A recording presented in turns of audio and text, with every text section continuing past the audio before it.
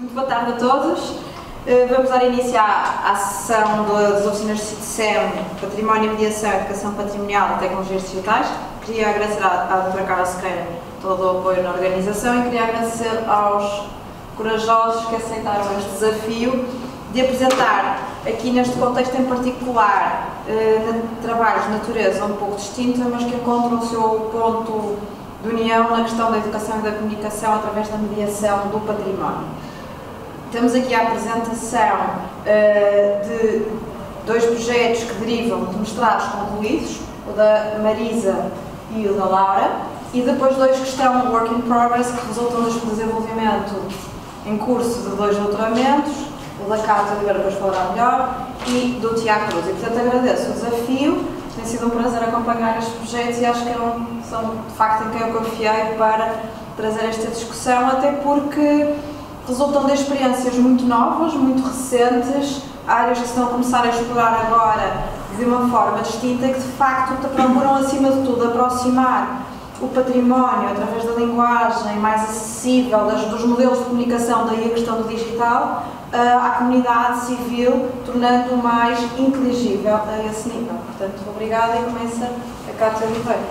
Boa tarde a todos, mais uma vez, obrigada pela, pela, pelas palavras, por lembrar.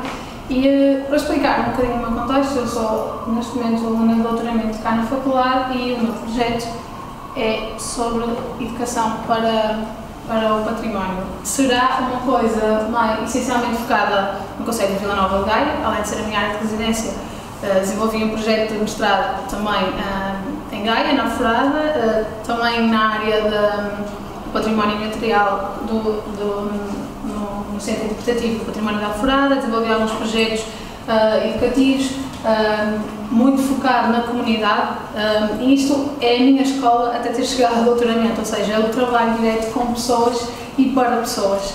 Um, e, e, é nessa, nessa base que eu tenho vindo um, a que tem vindo a recair mais uh, os meus conceitos e a, a, minha forma de trabalhar nesta área, nesta área do património e de facto eu acredito mesmo que é assim que as coisas devem acontecer, porque nós não nós estamos a lidar com objetos e não só, seja material e imaterial, mas estamos a lidar, e eu menos diariamente, com pessoas e, e é impossível trabalhar nestas questões sem um lado humano que eu acho que tem de ser valorizado. Bem, uh, aproveito só para dizer que a minha apresentação vai ser completamente informal, eu não tenho um discurso particularmente académico, porque é precisamente isso que eu pretendo desconstruir. Um, ao trabalhar com, uh, uh, com o meu público final, entre aspas, que no fundo é a primeira linha e a última linha, ou seja, são eles que detêm a herança, seja, seja o saber fazer, seja tradições, seja, seja o que for nesta área do património, são a primeira linha, mas no fundo, naquilo que eu pretendo, também são a última. Ou seja, eles têm, nós estudamos, replicamos uh, sem, sem tentar desvirtuar o mais possível e, e readaptamos e criamos uh, para que eles, no fundo, sejam também os usufrutuários um, através deste ciclo de gerações uh, que se pretende que o património acabe não morrer. E quando eu digo que estou a, a trabalhar sobre educação para o património, educação patrimonial, eu tenho algum preconceito estabelecido eu estou, uh, neste momento, ainda não faço muito inicial, a colaborar com a Câmara de Vila Nova de Gaia e, entretanto, uh, com, outro, com, outra, com outra instituição, mas também já, já deixou de acontecer, que era com, com o Instituto Piaget. Uh, e quando eu falo em educação patrimonial, toda a gente fica logo com medo do chavão. Ou seja, e porquê que eu digo isto? Imaginem, nós aqui somos um público académico, nós sabemos uh, aquilo que estamos a falar essencialmente, uh, nós não iríamos, ou se estivéssemos de facto interessados em levar esta questão a fundo, não iríamos para o Google, mas um cidadão comum, um pai, encarregado de educação, um irmão, um primo de uma criança que chega à casa e que ouviu falar na escola em património ou educação patrimonial, vai ao Google e quando chega ao Google tem aqueles números astronómicos de resultados das suas pesquisas. Claro que de educação para o património, a educação para o património em escola um reduz, mas ainda assim temos uma quantidade astronómica de informação que não sendo filtrada pode ser eh, perigosa no sentido de perceberem uh, de que é que estamos a tratar de facto. Mas no fundo há muita coisa a ser feita da mesma forma e talvez não seja a forma mais correta ou mais direita de chegar a quem nós queremos com a qualidade que nós queremos. Um, também não acredito que eu vá mudar o mundo, mas à minha escala local eu sou capaz de, acho que, que sou capaz de ter um papel mais ativo e mais consciencializador um, naquilo que, que eu pretendo. Pronto, eu antecipei um bocadinho, que era do chamar ao compromisso da teoria à prática. Da teoria à prática porquê? Porque há, há muita intenção de se fazer muitas coisas e faz muitas coisas. Atenção, eu não quero apenas focar a, a educação em contexto escolar ou educação formal. Para mim não faz sentido Uh, podia estar aqui a falar das metas curriculares, podia estar a falar das, das atividades extracurriculares, dos tempos não letivos, daquilo que, que, pode ser feito em escola e que no fundo deve ser feito em escola, mas que, uh, dado alguns encontros que eu tenho ido, uh, nós na escola encontramos o património muito colado à educação histórica, ou seja, claro que faz sentido, claro que são duas, duas duas áreas que se interligam, obviamente, eh, mas também é a forma mais fácil de lá chegar. E nem sempre a forma mais fácil é a forma mais eficaz. Eu inicialmente comecei por falar e, tive ali uma fase complicada, que era na capacidade na, dos docentes de saberem falar de património. Eu já não vou tanto por aí, apesar de, de saber que que há, mais, há docentes mais ou menos capacitados, eu nem chamo de capacitados, com mais ou menos sensibilidade para abordar a questão do património, mas depois também há o lado da motivação e há, e há todo um paradigma nacional uh, associado um, ao estatuto do professor que se calhar não convida muito, mas eu acho que, eu acho não, acho que esta, esta consciência tem que mudar, tem que começar a mudar, mas é difícil, eu compreendo, a educação ao longo de várias décadas tem sido reajustada e nós estamos continuamente a lidar com seres humanos que se adaptam, a educação tem que entrar sempre num ciclo de readaptação. Uh, e os professores também deviam fazer, mas então as mentalidades também deviam fazer, o professor devia ser olhado de uma forma diferente. Um, eu consigo compreender isso. Uh, também tentei ligar um bocadinho a educação nacional à educação da Finlândia, mas depois nós percebemos que o contexto é completamente diferente, a escala é completamente diferente, há tanta coisa a mudar antes dos dos docentes, ou pensarmos a educação e a forma como há uma relação professor-aluno, professor-comunidade, professor. Há, várias, há vários parâmetros e por isso é que eu digo da forma mais uh, genuína. Não me sinto capaz de fazer uma avaliação nacional uh, disto, como já tentei. Uh, portanto, para mim é importante também começarmos a focar e nós que temos este papel, nós que, nós que somos investigadores, não é? de facto, preocupamos e tentamos alavancar um bocadinho mais esta questão do património, também passa por transmitir muito a ideia de que há um dever cívico associado a isto, ou seja, o património é também e pode ser um fator de coesão social, territorial e, e as instituições municipais também deviam ter um papel mais ativo. Um, eu, da minha experiência uh, na Câmara de Gaia, isso tem acontecido, há uma intenção de fazer as coisas, mas depois de facto nós entramos no projeto e percebemos que o caminho vai levar exatamente aos mesmos métodos, depois vai acabar com os mesmos resultados e, uh, e nós acho que temos uh, que, que, que, assumir isto quase, eu pelo menos eu vou assumir isto nos próximos quatro anos como uma missão, que é tentar mudar um, um bocadinho uh, esta, esta realidade.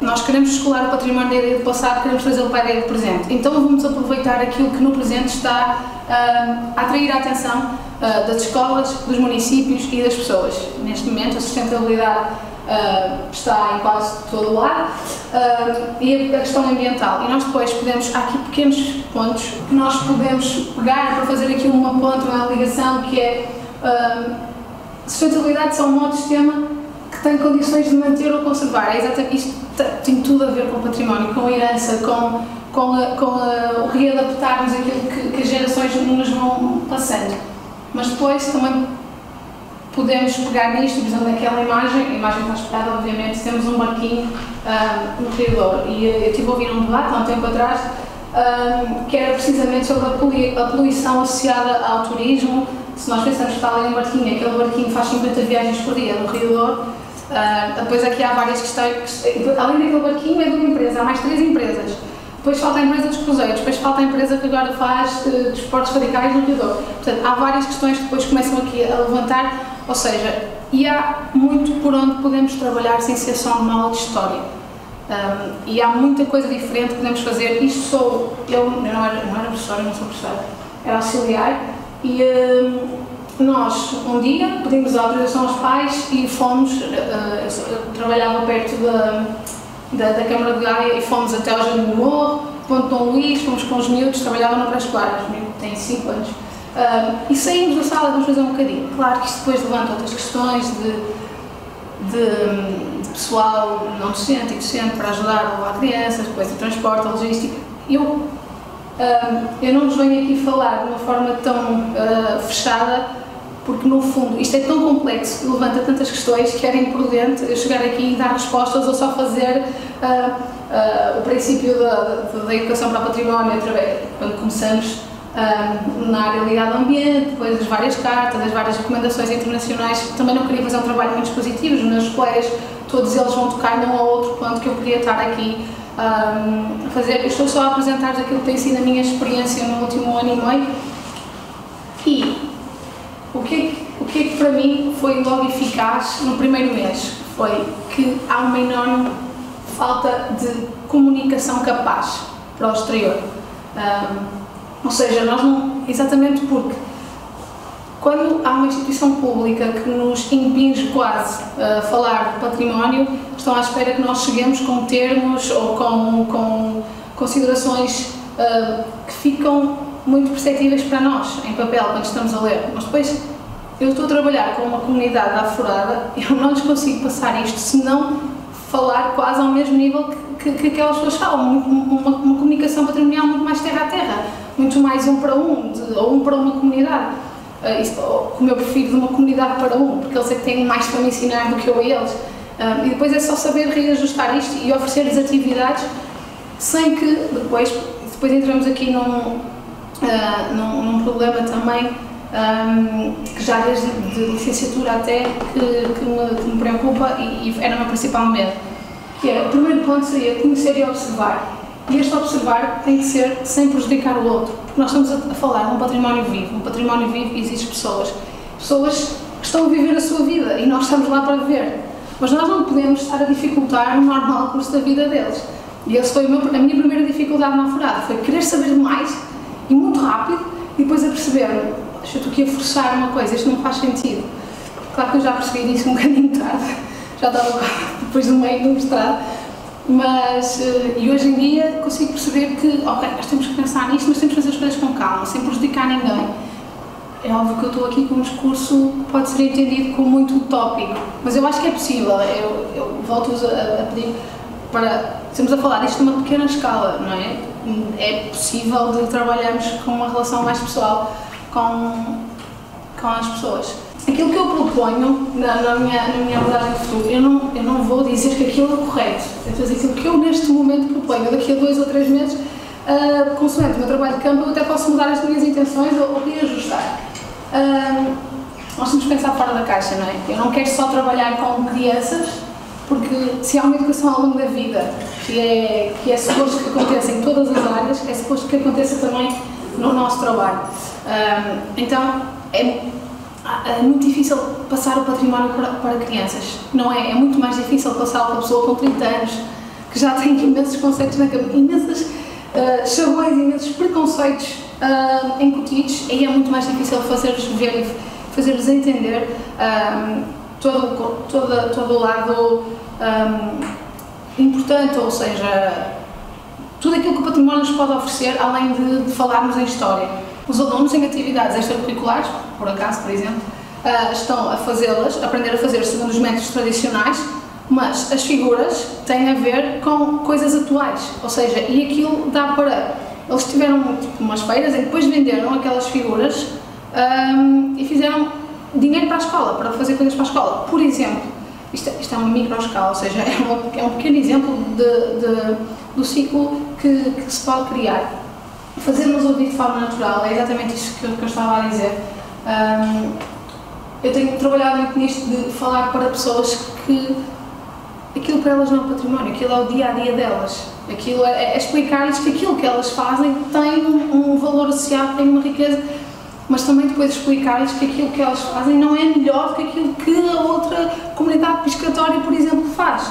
Ou que a broa da vinhos não é melhor que o bolo do caco da madeira ok? Os dois têm os seus valores distintos, um não é melhor que o outro, porque depois, e mais recentemente eu tenho ouvido falar em algumas questões de, ah, mas depois há muita regionalização, ou seja, só o que é meu é que é bom, não. O do outro não é menos bom que o meu. Os dois têm valências diferentes e contextos diferentes e nasceram de ideias diferentes e de e de vivências diferentes.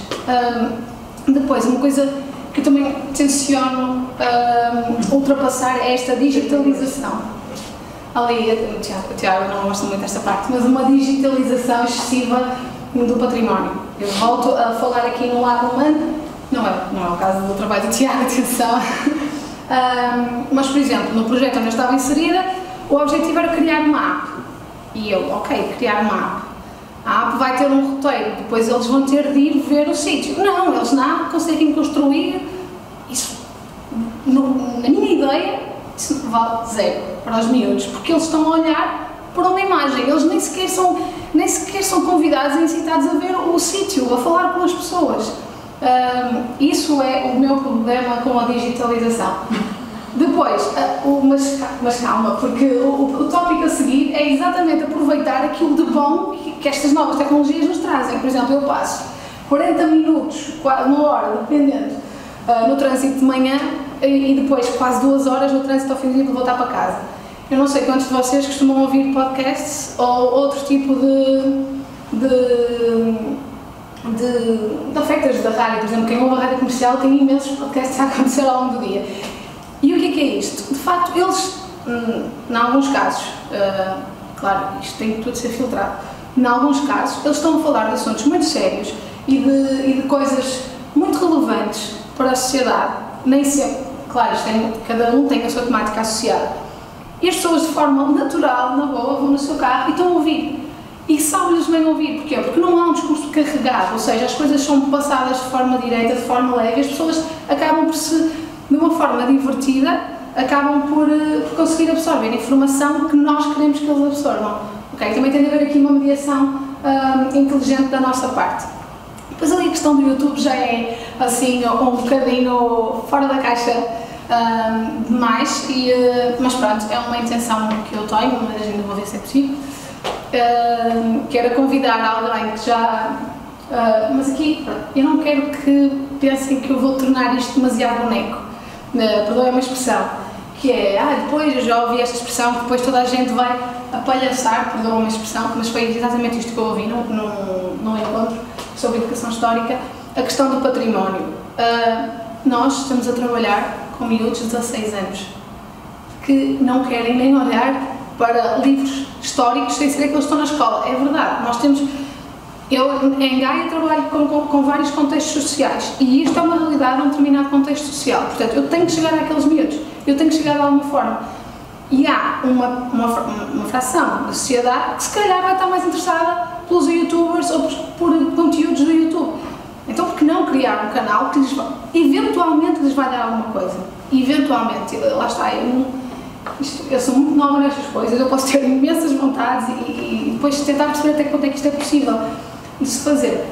E depois eu ponho usar entre aspas, porque não quero ferir suscetibilidades, mas uh, eu gosto muito de usar a expressão pessoas reais, porque é aquilo que eu vos disse há bocado, elas são o meu primeiro interesse e o meu último objetivo. E eu quero que isto deixe de acontecer, eu quero que isto fique assim.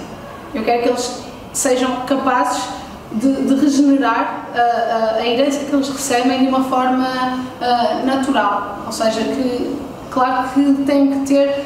Se nós começamos a formar desde cedo, depois eles rapidamente se, apercebem e continuam uh, a passar, quando acabar, de geração em geração. E, e, no fundo é um bocadinho isto nós queremos: um património sustentável, queremos a sustentabilidade associada ao ambiente, à sociedade e ao património. No fundo, o que nós queremos é que as coisas perdurem no tempo. Obrigada pela vossa atenção.